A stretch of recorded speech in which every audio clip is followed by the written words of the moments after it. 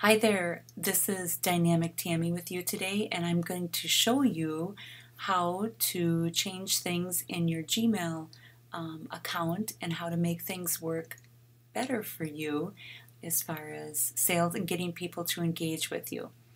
So, one of the first things, this is what your Gmail account probably will look like, and you want to click up here in the corner under Settings click there and also click on settings and that is going to bring you to your settings. And this is the area right here that you need to go.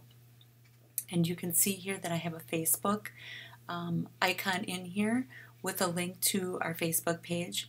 But I also want people to connect with me on LinkedIn. So I am going to say connect with me on LinkedIn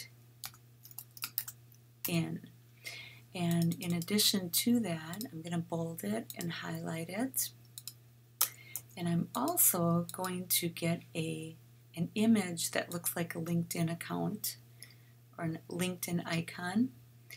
So I have that saved in my account here on my computer. And there it is.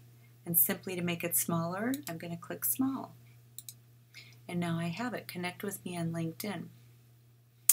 I'm also going to show you that I have my LinkedIn profile up right here, and this is what I need to copy. Any URL, Control C will copy it.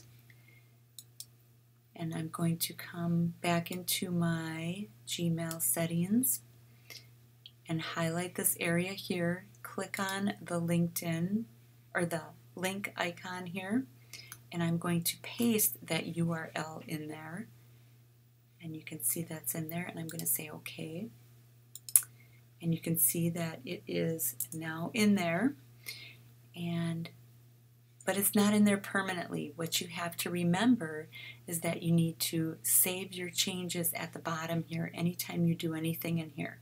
So once you save your changes, you are set.